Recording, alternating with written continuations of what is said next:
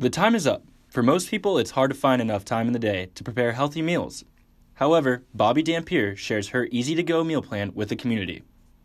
When we came here, we just, I guess we just like had this want to help the everyday person who's driving in a truck or the nurses that are running around crazy and all they have is cupcakes and cookies. Dampier struggled with finding a fitness plan of her own, but began studying nutrition and working out, which turned into a passion to help others.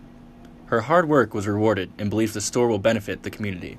The reason we do it is because the everyday Joe can't, they, they don't know exactly what they need to fuel their body correctly.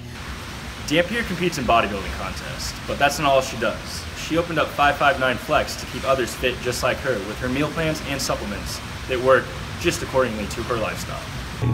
While being a competitor herself, I think this has always been her life dream um, to help other people with meal prep and supplements because she knows what it takes to go through a prep like that and just helping others is what she wanted to do. Um, they're nice because they're right next to my work. I work at Fort Washington Fitness and it's easy to walk straight over here, grab them out of the fridge, and they're ready to go. They're healthy. What used to be a meal plan of her own is now a meal plan for the people of Fresno to follow. Jameson Ruppel, Fresno State Focus.